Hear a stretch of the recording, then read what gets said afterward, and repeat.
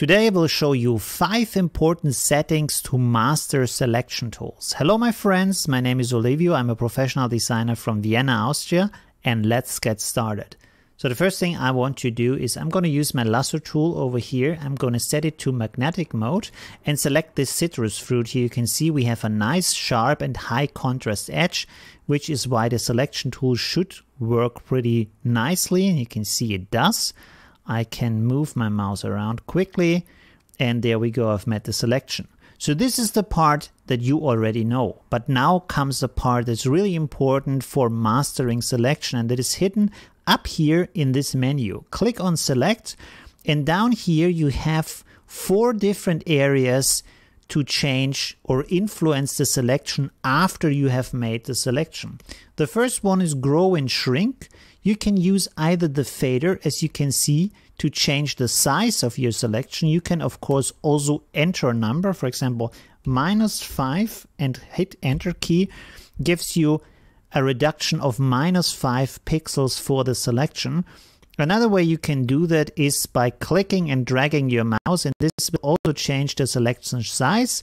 There's only one problem with that, it doesn't seem to go to a negative value so you can see when I go to the right it's getting bigger, when I go to the left it's getting bigger also, so that's not ideal. Um, a cool thing you can do though is when you click once it will set your selection back to the original value also, what you can do, uh, what you can see down here is that it says circular, and circular will smooth out any edges that you have in your selection while changing the size, although there is something to know about that that I will show you right now. I will again use my freehand tool, set it to polygonal mode, and go over here to the black area. This is why I have it, so I can show you uh, in a better way how things are changing. You can see here I have some sharp edges now. And uh, you should look here that you can see we have edges on the outside of our star but on we uh, sorry we have sharp corners on the outside of our star but we have also sharp corners on the inside of our star. And this is important now. So let's go back to select grow and shrink. You can see here if I normally grow and shrink it, uh, it will basically keep the sharp edges sharp. Um, but when I click on circular, what it will do is when I go bigger, it will round out the edges, uh, but and this is why I told you to the inner and outer edges. You can see pretty clearly right now. If I make it bigger, it's rounding out the outer edges, but not the inner edges. And it in a negative value, oops, that was a bit too much maybe. Let's see. You can see that this will round out the inner edges, but not the outer edges. I really hope that Affinity Photo is getting a setting where I can set which kind of edges I want to, or which kind of corners I want to um, round out. Uh, right now, it's just setting one or the other depending on one what direction you're going in with your shrinking or growing of the selection. Okay, let's cancel this real quick and go to our next tool. And the next tool is called Feather. Uh, to show you this, I will do another rectangle over here. The blue color is okay. I will right click on my layer and rasterize it so it's converted from a rectangle to a pixel or from vector shape to a pixel shape. And what I'm going to do is I'm going to select my elliptical selection tool because I'm going to make a circle. And I have just made a circle right now with my selection without changing any of the settings. Up here you also have a feather setting, but you have to set this before you make the selection. So I will use Control C, Control V um, to make my selection real quick. And then I will click back to the original layer because the cool thing is with select and feather, you can change the fading, uh, the feathering of your selection even after you have made the selection. So you can see here with the radius, I will set it, for example, to let's say 10 pixels. There we go. And again, you can use the fader, you can use the mouse click and drag, or you can use a number value, apply.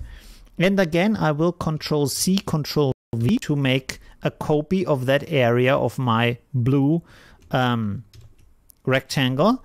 And now I drag both of them over here. First, the one without feathering in it. You can see has a sharp outer edge. Now let's use let's move over the other one and you can see this has a blurred outer edge. So this is pretty nice to be able to blur your selection to feather the outside of your selection even after you have done the selection. And another thing that's important to notice here is uh, let's go back to my freehand tool. Of course, the blurring is following the form of my selection. So now if I go up here, I say feather. Whoops, that's a bit too big. Or maybe, no, maybe not make it that big. Okay, let's copy this real quick, move it over here. And you can see, of course, uh, this is following uh, the shape of my selection. So this is always feathering around the shape that I have selected, around the edge that I have selected. So that's pretty nice. And of course, another thing to notice is all of these settings can be combined. So you can shrink or grow a selection and then feather it afterwards or the other way around. So um, you can use any of those settings in any way you want. Now you can see here that it says feather, but it also says smooth. And this seems to be the same thing, but it's not the same thing. Uh, what smooth does, uh, let's uh, delete these shapes here real quick, is one thing that we have seen before, but a little bit different way. Let's make a selection here again. You can see we have these sharp corners. There we go. And now if I go to select, what I can do with smooth is that I can smooth all the corners. And in this case, it's actually smoothing all the corners. You can see the outside corners, but also the inside corners are getting rounder. So that is very nice to smooth out a selection you have done. This is especially useful. Let's deselect this real quick. If you made something with the poly polygonal uh, selection mode and you have all these straight lines, but you still want to have something that is um, a round shape, you selected it like this, for example, with individual clicks. Let's go up here Bam, there we go. And if you want to have these outsides uh, now smoother, so it looks more like um, like an actual curve, you can go select smooth, and then with the settings, you can see how this is smoothing out the outside. Of course, the shape is changing a little bit at the same time. So again, I wish there would be a bit more settings, um, especially in this case, to uh, set how far this will change the shape or keep the shape and just smooth out uh, the lines, uh, which is also possible, for example, in vector software, but it's not doing it right here, right now. But you can see this is a way to use that. Okay, now there's another thing that we want to look at. Let's again use the elliptical tool. I will make a circle. There we go. We have a circle here and select outline outline will help me to create a selection that is, um, as you can see here, it's a circular shape. So this is moving from starting from the point that I've or the line that I've selected, it will move the selection outwards and inwards to select a stripe of this of the selection and you can see right here it's based on center so it's going in the same way outside and inside.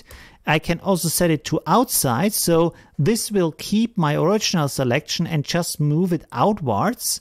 Or I can set it inside, so this will keep my original selection, but move another selection inside, so I can have a ring inside. As you can see here, this is more like a strange rounded square shape. It's not really a circle. Um, you can use circular as you can see and this will actually turn it into a circle so that's very useful again and you can see here now we have a nice smooth circle and when I apply this and I will Actually, I can't uh, select it over here. I have to move my selection. Let's deselect this real quick. Go over here.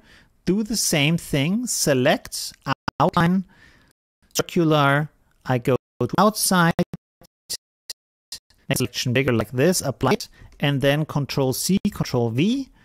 And Control D to deselect. I was on the wrong layer. I'm sorry. Sometimes I'm a bit stupid. So there we go. Now I've done it the right way. And now if I move this up here, you can see we have a nice selected ring. So that's very nice. Um, another way to do that probably uh, what that you could do is to use your elliptical tool and then go to subtract to delete the area that you want to have.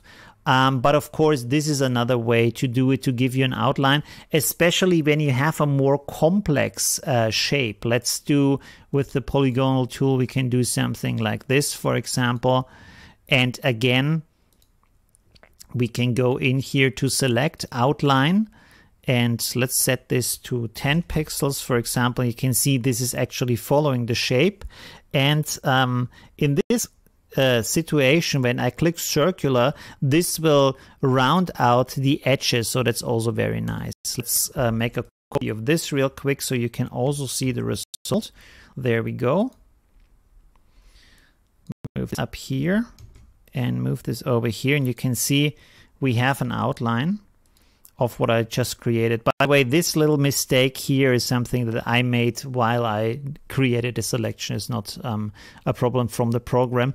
But you can see the result is not super perfect. Like here's an arrow down here and there's another arrow up here. So it's not the most exact way to do that. Use it with caution, but now you know that these kind of settings are there and this will help you make a lot more complex and interesting selections and also work faster in your workflow. So thank you very much for watching. If you like my tutorials, uh, maybe subscribe to my channel. I do two tutorials per week.